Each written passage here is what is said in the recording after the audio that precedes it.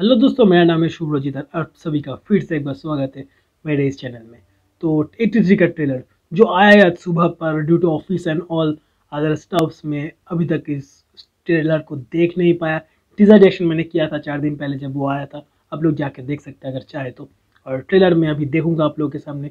और I am going to share my spontaneous reaction on the screen तो आप लोग देखते रहिए आप लोग को स्क्रीन के बस इधर। और उसके बाद वो ट्रेलर देखने के बाद मैं उस वीडियो लेके या उस ट्रेलर को लेके मेरा क्या राय है मेरे को कैसा लगेगा मैं इन डिटेल बात करूँगा आप लोगों से तो चलिए देर किए बिना let start Well, India must be still recovering from the double thrashing they received from the West Indies and Australia. If they win today by a huge margin, they're still in the tournament. Group league.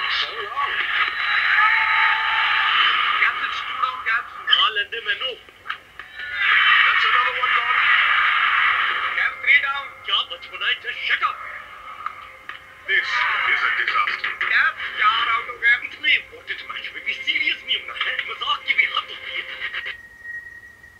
Score क्या है? नौ run. चार wicket down. লুকসটা কি দুর্দান্ত করেছে अब बस looks देखिए इसका वाओ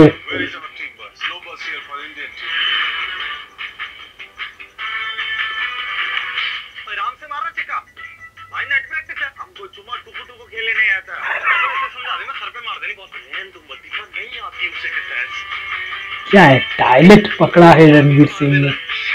वाओ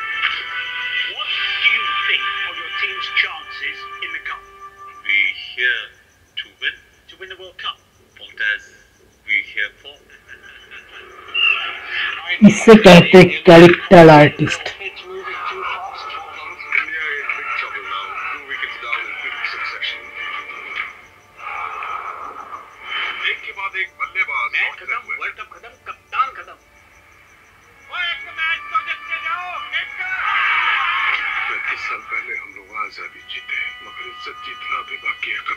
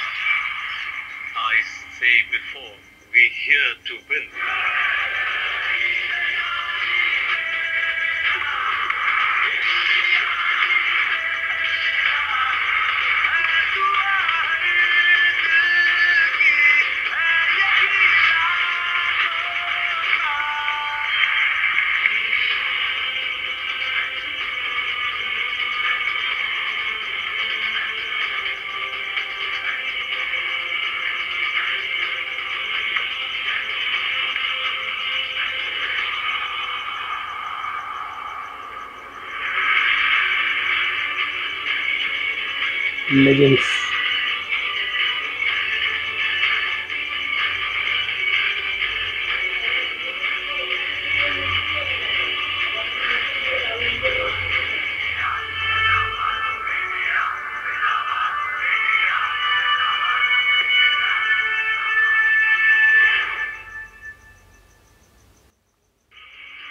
ट्वेंटी फोर्थ दिसंबर 2021 ये हॉल में आने वाला है। क्या बात करें इसके बारे में?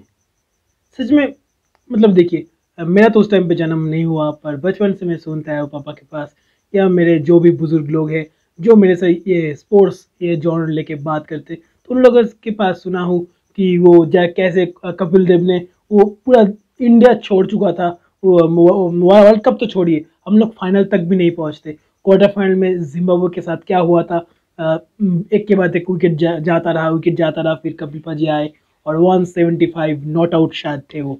और उनके, उसके बाद हम लोग गए फाइनल तक और फाइनल में जाके हम लोग किसके अगेंस्ट किसके खिलाफ खेले?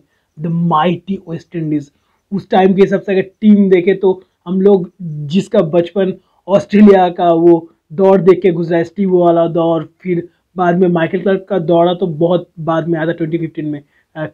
उधर ओपनिंग से अगर चालू करते वो ऑस्ट्रेलियन इनिंग्स तो उनका जो बेंच स्ट्रेंथ था वो वो भी एक बहुत अच्छा टीम बना सकता है किसी और टीम का फास्ट इलेवन इतना अच्छा तगड़ा हम लोगों ने टीम देखे थे।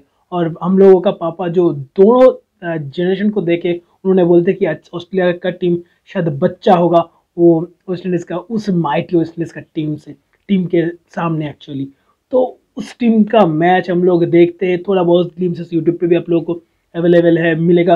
पर पर वो कोई सोचा ही नहीं था कि उस मैच में हम लोग मतलब जीत जाएँगे उस माइटी वेस्ट के खिलाफ। ये बस हम लोग के लिए एक फेयरी टेल है, जो हम लोग सुनते आए बचपन से, सुनते आए हैं बचपन से। अब इस चीज़ को सामने से देख पाएँगे। ये सब ये सब एक साइड पे, और दूसरे साइड पे इसका कास्टिंग है। क्या गजब कास्टिंग किया है, और रणवीर सिंह का बात ही क्या करूँ? ये बंदा मतलब जिस भी मेकर से, या एडी से बात होता है बॉलीवुड इंडस्ट्री का, थोड़ा बहुत एडी के साथ मेरा भी बात होता है तो वो लोग बोलते हैं कि ये बंदा सेट में इतना सारा इनर्जीज लाते हैं, इतना सारा इनर्जीज लाते हैं कि उसके बाद में जितना कम बात करे, वही वही अच्छा है। ये बंदा बहुत एनर्जी है, बहुत कुछ लाते हैं, ये बंदा बहुत डेडिकेटेड है। एक्चुअली उनके काम में भी ये दर्शाता है। वंसल के किसी भी प्रोजेक्ट में देख लीजिए, अपना लीला उठा लीजिए, भजिया मस्तानी उठा लीजिए, हर एक कैरेक्टर में मुझे बस इतना अच्छे से मिल जाता है कि पता नहीं चलता कि वो रणवीर सिंह है या वही खुद अलाउद्दीन खलजी है। ऐसा पता नहीं चल, चलता है। इधर भी पता नहीं चल रहा कि वो शायद रणवीर सिंह है ही नहीं वही कपिल देव। है क्या एक्सेंट पकड़ा है उन्होंने? वो, वो साथ में साथ में ऑब्वियसली दाव। ये तो ऑब्वियसली हम लोग को अप्रिशिएट करना पड़ेगा इसका जो मेकअप आर्टिस्ट थे। जैसे उन्होंने टोटल वो किया या बस मेकअप के सहारे ही हो गए पता नहीं। जो भी हुआ है कमाल हुआ है। एक्चुअली कमाल हुआ है ट्रेलर में। और उन, उनके उसके साथ टोटल स्क्वाड का जो बात कर रहे हैं रवि शास्त्री दिलीप बेंगशरकर सैयद किरमानी मदन लाल और ऑब्वियसली कपिल।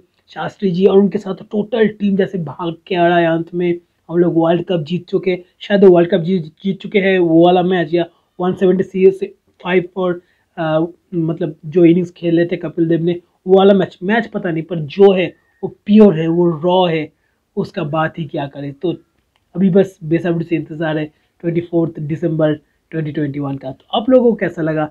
ये लंबा हाँ ये ट्रेलर शायद और, पता नहीं क्या छोड़िए, इसको लेकर नेगेटिव बात ही नहीं करना है।